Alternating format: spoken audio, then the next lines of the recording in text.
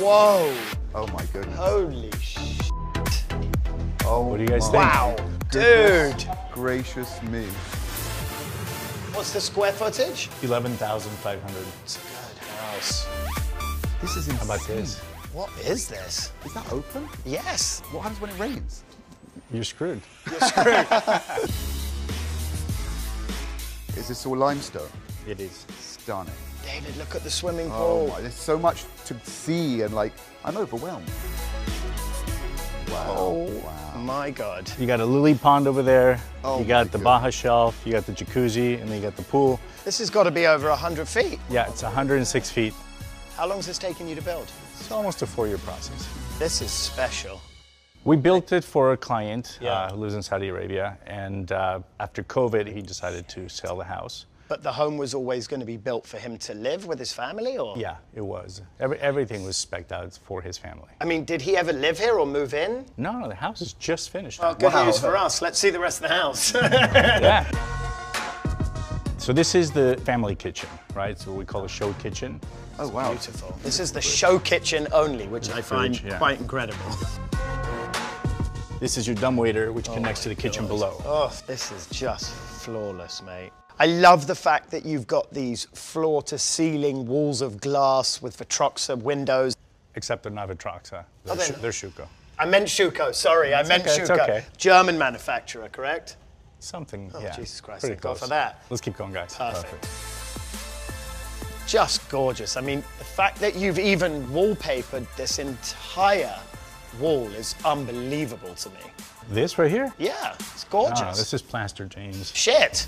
Now I'm up closer, it definitely is Venetian plaster, you are right. Come on, James, you gotta know these things. Sometimes when you don't know something for sure, better keep it zipped.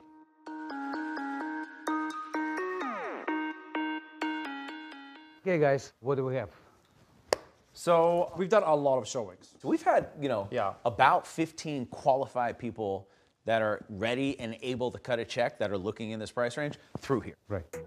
Fredrik and I have very different styles, so we split up the work and we each did our own showings, but the feedback was the same. This is a little bit 1920s for me.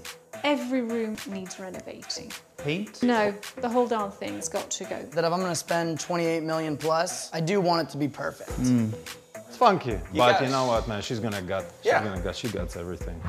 Some of these Beverly Park houses are 25 years old, so they do have to be renovated. And it's always the same. People love it. But they want modern.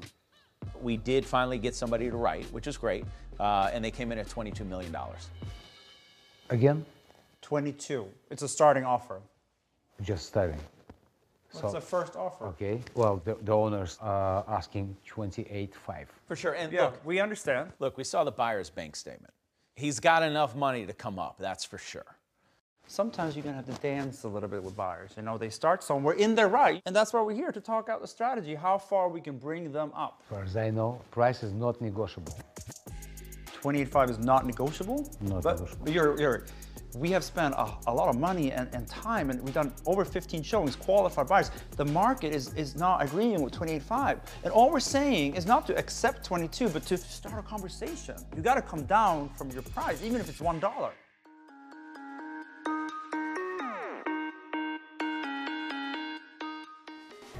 Isn't it the nicest animal you've ever seen in your life? I love this dog. You do your own makeup or you have to have it done? No, I did it myself. You, you did that yourself? Good job. I can't. So let's sit down for dinner. Okay. Pretty, isn't it? Table's beautiful. over here, okay. This is intimate. Oh, these are my same glasses. Perfect. Beautiful. Thank, Thank you, you. Gloria. Uh, I just wanted to say, everyone, thank you for coming tonight. I wanted to put the strangest, most eclectic crowd together, and I think I was successful. Yes. We were going to do Shabbat tonight, but there's only five Jews at the table, so we decided not to. Excuse me, I'm honorary. You're an honorary Jew. This is the first dinner party for so many of us. This is the first time you've been out? In, in several months, yeah. Really? I mean, as a, in a dinner party. Yeah, same. You know, really. So what's going on with work? How's it going? Work is good. I'm working on an offer with Carly right now. And how's it going? She doesn't realize this is like a one-of-a-kind property. It's Doris Day's old property. Oh my God. Right now, we're negotiating on a property, and now we're waiting to see if he's accepted. But Josh isn't feeling like very confident. I'm super anxious. It's literally all I can think about. Ladies and gentlemen, Ooh, wonderful. All right. Fabulous. Bon appetit. Josh, your phone is ringing. Hello? Let me, hold on. Let me just, I'm at dinner. Let me just step away for a second. Hold on one second, okay? Josh, this is this is not how I imagined this would be.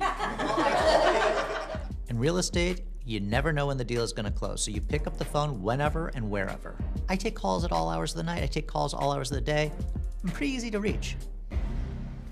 Just not at 7 in the morning.